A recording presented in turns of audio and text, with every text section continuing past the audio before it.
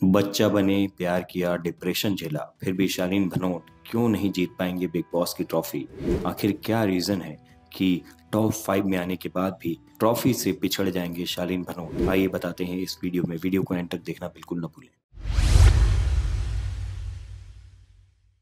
Big boss 16 का finale अब बस कुछ दिन ही दूर है। जल्द ही बिग बॉस विनर दुनिया के सामने होगा। एमसी स्टैन शालीन भनोट शिव ठाकरे प्रियंका चाह चौधरी और अर्चना गौतम टॉप फाइव में अपनी जगह बना चुके हैं। इन सभी कंटेस्टेंट्स ने फिनाले तक पहुँचने तक बहुत सारी परेशानियों का सामना किया। पर अगर सभी कंटेस्टेंट की जर्नी पर नज़र डालें शालीन भनोट एकमात्र ऐसे प्लेयर रहे हैं जिन्होंने शो जीतने के लिए सांप दाम, दंड, भेद सब अपनाया। अफसोस, फिर भी शो के विनर की रेस से वो बाहर नज़र आ रहे हैं। बिग बॉस हाउस में शालीन भनोट की एंट्री काफ़ी धांसू स्टाइल में हुई थी। शुरू में उनमें विनर की क्वालिटी भी नज़र आई, पर फिर उन्होंने शो में टीना दत्ता संग प्यार का एंगल शुरू किया।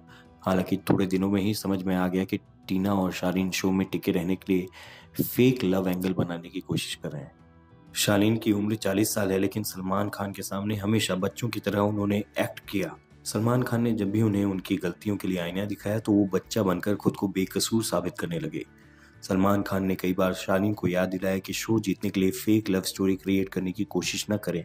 हालाँकि शालीन को तब तक ये बात नहीं समझ में आई जब तक खुद उन्होंने ठोकर नहीं खाई। कुछ हफ़्ते पहले शो में एक ऐसा मोड़ आया जब टीना दत्ता और शालीन भनोट ने पूरी तरह से अलग रहने का फैसला किया। टीना से अपनी राहें अलग करने के बाद शालीन घर में अकेले पड़ गए। शो में कोई ऐसा कंटेस्टेंट नहीं था जिससे वो अपने मन की बात शेयर करें।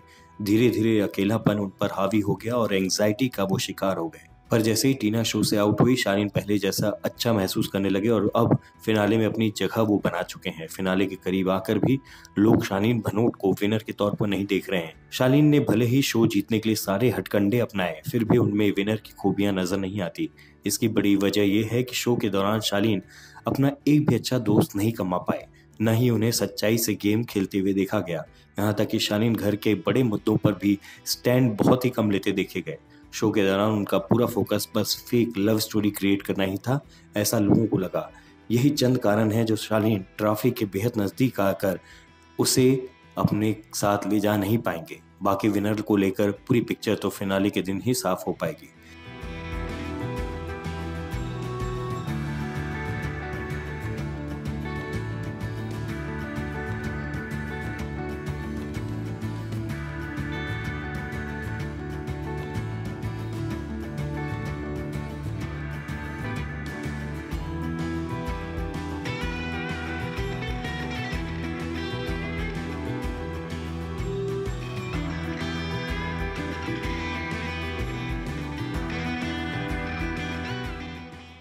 क्या कुछ कहना है शालीन की स्टोरी पर आपको?